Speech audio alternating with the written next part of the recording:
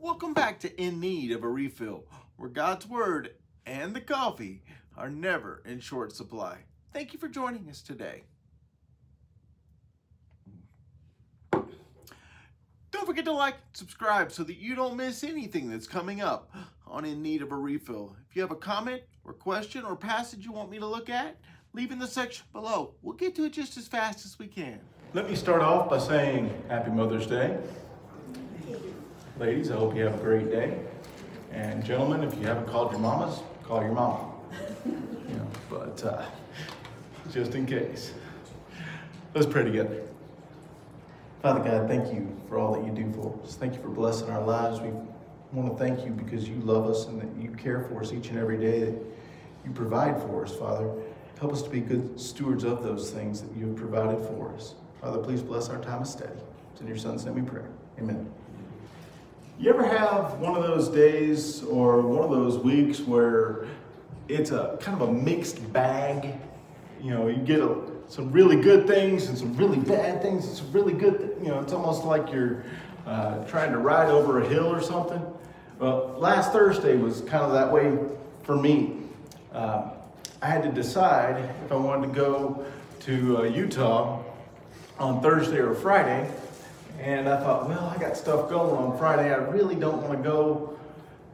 Thursday's weather, whew, didn't look so hot. Now, I'm kind of a chicken when it comes to driving on the interstate in the snow, so I was like, eh, what do I do? Well, God bless the trip, number one. But here we go, you know, uh, we get back, or I get back, I'm by myself. Uh, I'm on the Utah side, about five miles away, and I hit this ice storm that I'm just like, you've got to be kidding me. You know? I mean, I had to drop the, the miles from 80 miles an hour to like 60, 65. And I kid you not, I had a piece of ice on the windshield wipers literally that long.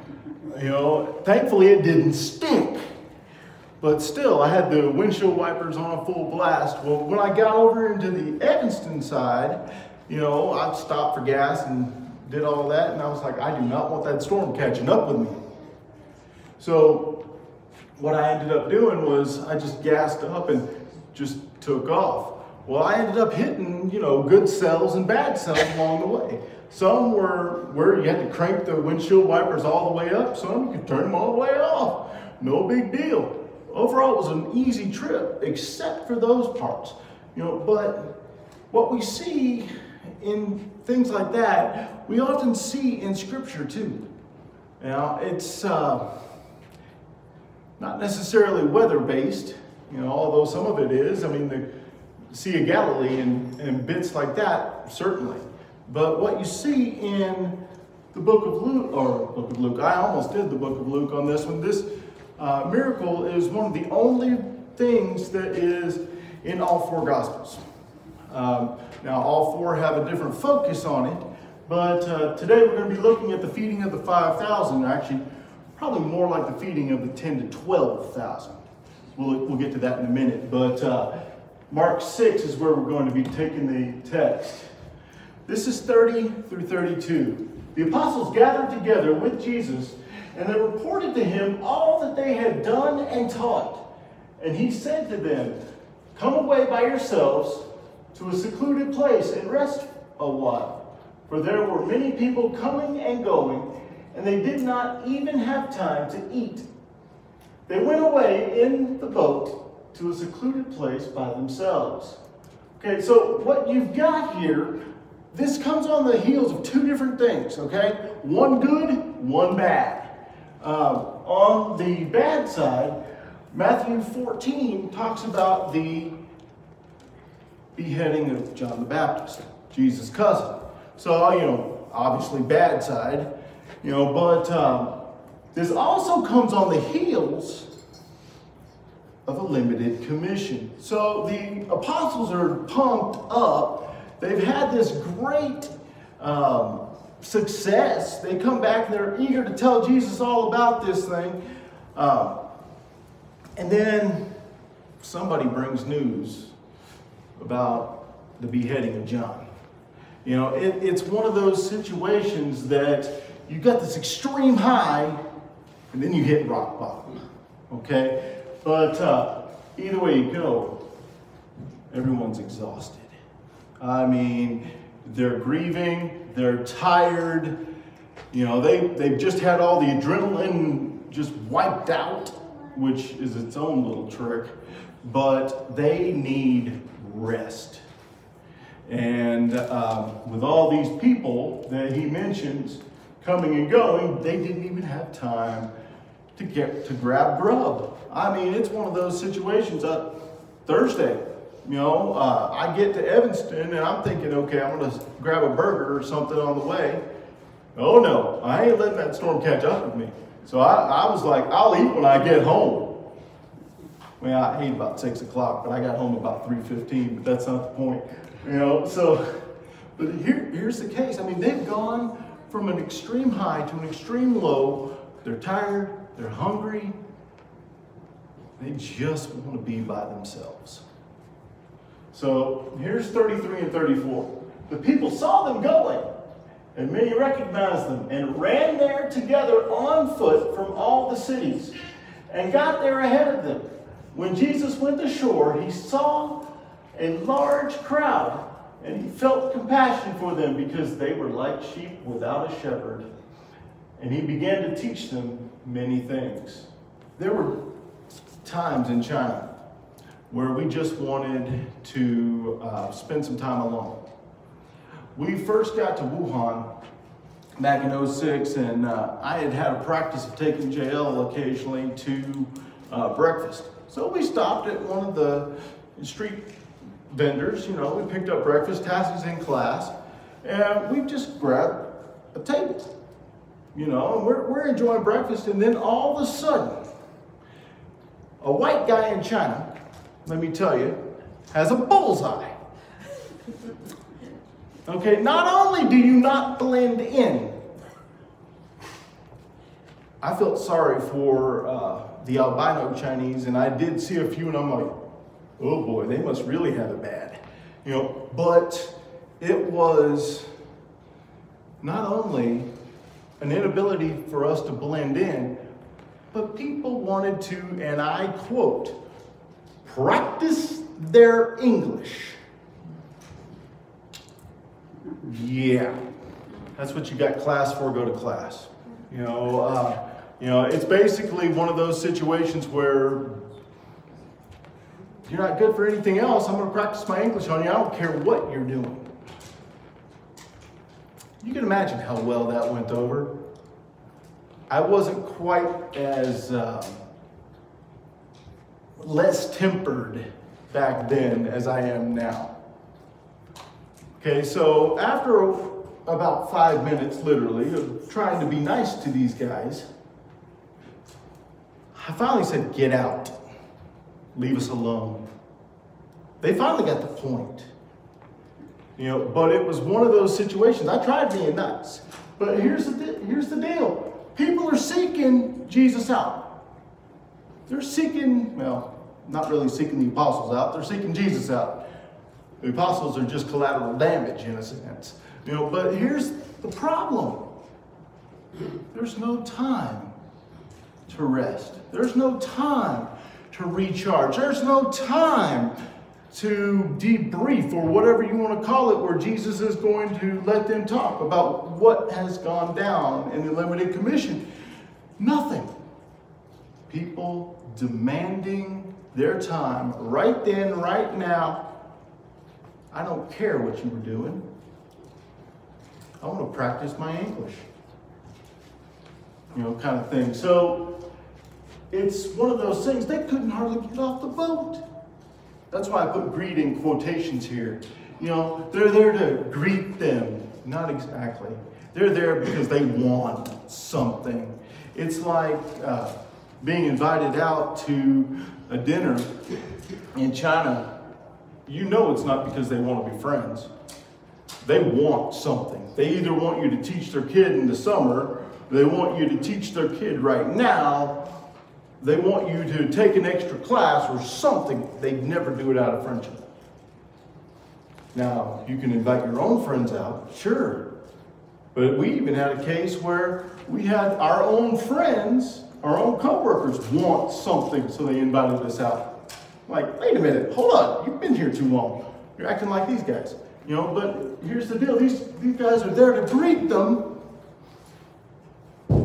but not really, you know, check and see how the trip went or, you know, how they're doing.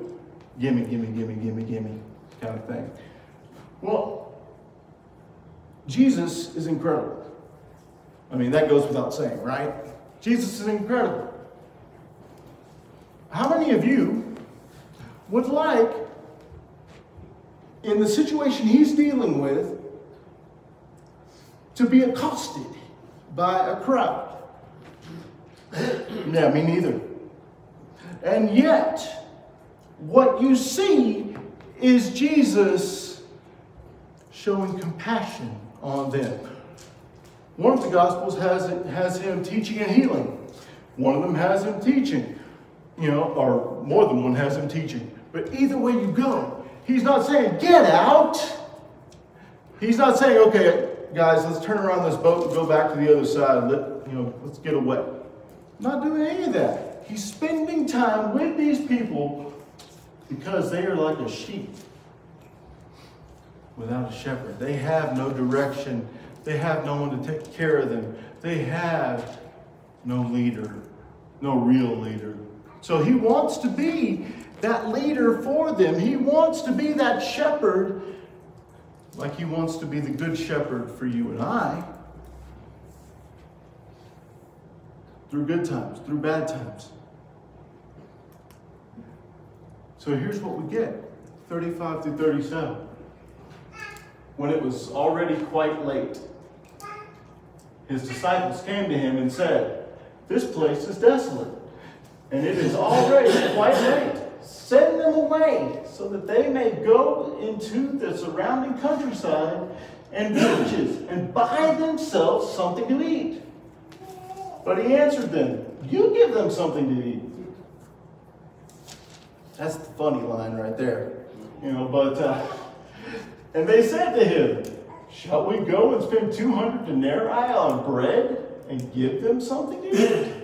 this is crazy. I mean, you know, put yourself in the apostles' sandals for a minute. They're ready to call it a night. Jesus put in some serious hours. Serious hours. There's more than one situation in the book of Mark where Jesus is working late into the night. And this is no different. He's working late into the night, you know, or at least into the evening. The apostles are ready to be done. It's um, one of those situations. They didn't expect any of this. Well, you know, we had times in China where I would get back from the other campus in Wuhan, and I knew there was a group waiting on me. I scheduled it. That was the only time we had to schedule it. Fine. I'll put the hours in. I don't care. Jesus did it. I'm going to try my best to do it too. But I tell you what, riding that bus over after a long day of teaching, I was like, oh boy. All right, let's do this. And I basically had to pull myself up by my bootstrap, so to speak, and, and get it done. There was no food until after they left, sometimes as late as 9 p.m which was fine. You know, I really wasn't hungry at that point anyway. But still, they would end up being in there. I'd get home at 7. I'd walk in, drop the backpack, and let's go. Let's teach. What questions have you got? Kind of thing. You know, and it was exhausting. It really was. It was exhausting. So, you know, you can imagine what these guys are dealing with. Lord, it's late. Send them away. It's time to rest. It's time for food. We haven't eaten yet either, Lord. You know, kind of thing. Now, I mean, I'm reading that into it based on what we've already looked at, you know, that they hadn't had time to eat. But still, it's one of those situations that they're making some good points. I mean, it's not like, Lord, get them out of here. They're making some good points. You know, they're hungry. Send them away so they can get something to eat. It's late. It's late. You know, and okay. But that's when Jesus hits them with a wait, what moment. You know, one of those situations that you're expecting a different answer. You're expecting the guy to say, absolutely. You know, you're right, it is late. Uh, guys, it's time to go. You give them something, huh? Um, oh, excuse me? What? I mean, it's it's one of those situations where you know you're sitting at this huge table with a bunch of folks, bunch of dishes come out for food, and then all of a sudden, you've got the bill today, Paul. You know, it, it's one of those situations. Paul's not expecting to pay the bill. Wait, what? What do you mean I got the bill?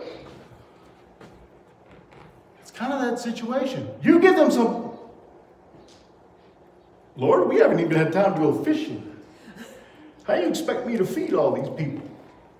Well, the book of John talks about him already knowing what he was going to do, that he was testing, I believe it was Philip. You know, but either way you go, 200 denarii wouldn't be enough to buy the food. Now, if my math is right, you know, the denarii was a one day wage. So you're looking at um, about 54% of a year's salary. Lord, even if we spent over half the year's salary, we couldn't feed all these folk. That's a lot of folk. But still, I mean, we're not talking about cold cuts here. And even then, that's expensive. And he said to them, how many loaves do you have? Go look. And when they found out, they said, Five and two fish. Let's stop there for just a moment. Five and two fish. Lord, we ain't got enough. I mean, we can barely feed, you know, one to two people. Now, more than likely, it says in other gospels that a young boy was the one that had these items. Somebody's mama took care of him. She was not expecting, I can almost guarantee, what was about to go down. You know, so it was one of those situations. Five and two fish, I'm looking at it and thinking, five loaves, figure eh, maybe like so, maybe. I could probably put away at least three of those myself when I'm not hungry. So, you know, it's like, what? But still. And he commanded them all to sit down by groups on the green grass. They sat down in groups of hundreds and of fifties. And he took the five loaves and the two fish, and looking up toward heaven, he blessed the food and broke the loaves and he kept giving them to the disciples to set before them. And he divided up the two fish among them all. So he wants to know what's available. What do we got? Now he already knew.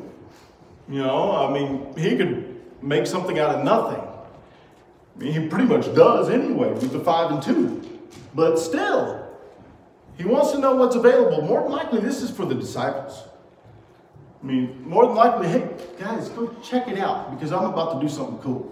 So he might want them to take inventory just so they know for sure. Oh yeah, Jesus wasn't hiding something up his sleeve. He's not this magician that's going to pull the rabbit out of the hat, so to speak. You know, but uh, he wants the crowd to sit down. I mean, we're not talking about, okay, everybody get in the line, we're going to go through the drive-through kind of thing. You know, I mean, it's not like get your food and get out of here kind of thing. He wants them to stick around. Now, it's already late. And um, as many people as Mark tells us was there, we'll get to that in a bit, but as many as he tells us was there, it's going to take a while. It's going to take a while just to get seated in groups of hundreds and fifties. But passing the food out, that's going to take a while. Eating's going to take a while. So at this point, they're going to be working real late. Okay, so he does bless the food now, you know, maybe this is uh, an example that we need to follow where we bless the food before we eat. Maybe this is just his practice, but whatever the case is, he does bless the food. And then he starts telling them, pass the stuff out. Five and two fish. We got three on the front row here and, uh, you know, two in the row behind them. So, I mean, that's what, a loaf each, uh, figure two fish, and sorry, Diane, you're not going to get anything to eat. You know, uh, Christina and Connie were sitting right there ahead of you, so, you know, but, so, I mean, that's it, right? But then the disciples just keep passing, keep passing, keep passing, keep taking the stuff out. It's like, wait, Lord, where's all this coming from? What's going on here? You know, but it's like the miracle is a twofold miracle. It's for the crowd, for sure. I mean, you know, they get to eat. They know Jesus just got off the boat. They met him there. They know they didn't pull the fish off the boat. They met him there.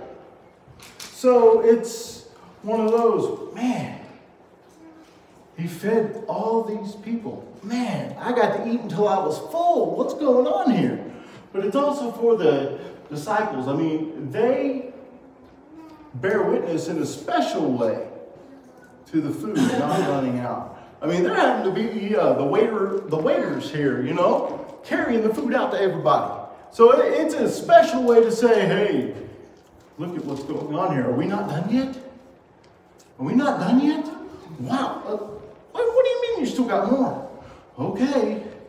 They all ate and were satisfied. And they picked up 12 baskets broken pieces and also of the fish. There were 5,000 men who ate the loaves. I'm sorry. Okay, they all ate five and two fish. There's going to be crumbs, if that. And it's certainly not going to feed everybody when we've already said Diane don't get to eat. You know, so it's like, what's going on here? And they're picking up broken pieces. We're not talking about, you know, crumbs on the floor. We're talking about broken pieces, enough for 12 baskets. 12 baskets.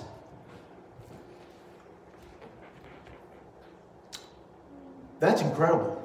I mean, I don't have the words to say just how incredible this actually is because we're actually looking at not children. We're looking at full grown men that Mark is commenting on. Okay, 5,000 full grown men. We're not talking about Bobby Joe, who can't hardly eat half of that. You know, we're not talking about Callan, who can't eat one loaf by himself. We're talking more like me, talking more like Heath, talking more like Paul. You know, the fact that it's like, bring on the grub, man. I'm hungry. It's late. I haven't eaten all day. And how do I know it's men? That's the word they use. You know, not in English, in Greek. It, there are two different words, one for man, male, and one for man, uh, mankind. And they use the word for male. So really what you're looking at is probably closer to 12,000 people. Because generally you'd have a two, two to one ratio women to men. And the women aren't going to leave their kids at home. They're going to go listen to the rabbi They're going to go watch the cool stuff the rabbi's about to do. So more than likely, you're looking at 12, maybe even up to 15.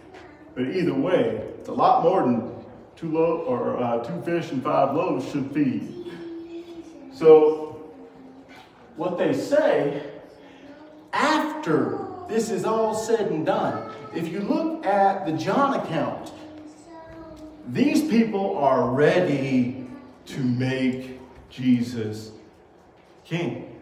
I mean, this is 614 in John. Therefore, when the people saw the sign which he had performed, They said, This is truly the prophet who is to come into the world. And the next verse talks about, Hey, let's make him king.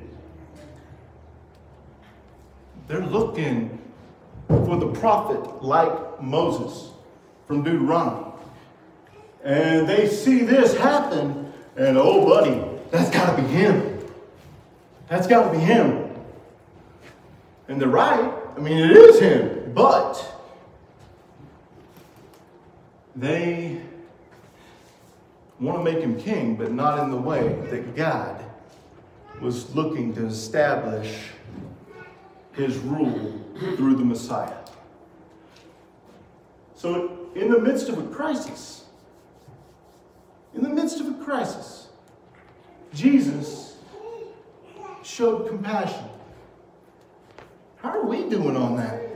I mean, a crisis hits, and are we more than willing to say, hey, come on in here, let me take care of you? Or are we more like, uh, this is our time now, I'm sorry, but uh, there's, there's stuff going on, you need to leave? Which one are we? Now, I'll tell you, on my good days, I don't measure up still. On my bad days, I lock the door and I, I put the horse right in front of the door. You know? So good luck getting in. But, uh, you know, Jesus wants to be the good shepherd for these people. He wants to be that shepherd, the one taking care of them, because they're lost. He wants to be our good shepherd because we need him. We need his guidance. We need his direction. We need his constant cleansing that his blood offers. He wants to be our shepherd too. Are we trying to do this on our own? Are we trying to do this simply as a group? Because if we're trying to do this as a group without him, even with all of our collective talents that God gave, we lose. We lose. We can't do this on our own. It's foolish to think we can. But the other thing, Jesus can do some amazing stuff. Amazing stuff. You know, no matter what the situation is, I can guarantee you that the, the text does not say, but I can guarantee you when they got into that boat, the disciples were not thinking, hey, this is going to be a long night. We're going to have to feed 5,000 plus. No way. No way. Now, probably when they were getting ready to get off the boat, they're like, oh my goodness, what's going on here? But still, you know, Jesus worked with nothing. Nothing. That should tell us something. Among other things, that means that Jesus can supply for us no matter what the situation may be. Now, does it mean miraculous? Doubtful. Possible? Doubtful. More than likely, what it means for us is working through someone else to help us, or at least giving us the strength and the ability to do what needs to be done. But still, it's Him supplying what we need, no matter what the situation is, no matter how bad we have it at the time. There's no need to try to do this on our own. We can't. He can. Let's rely on Him. Don't forget to like and subscribe so that you don't miss anything that's coming up on In Need of a Refill. And remember, if you're ever in need of a refill on God's Word, all we have to do is take it off our shelves. Spend some time with Him. We won't regret it. Have a blessed week.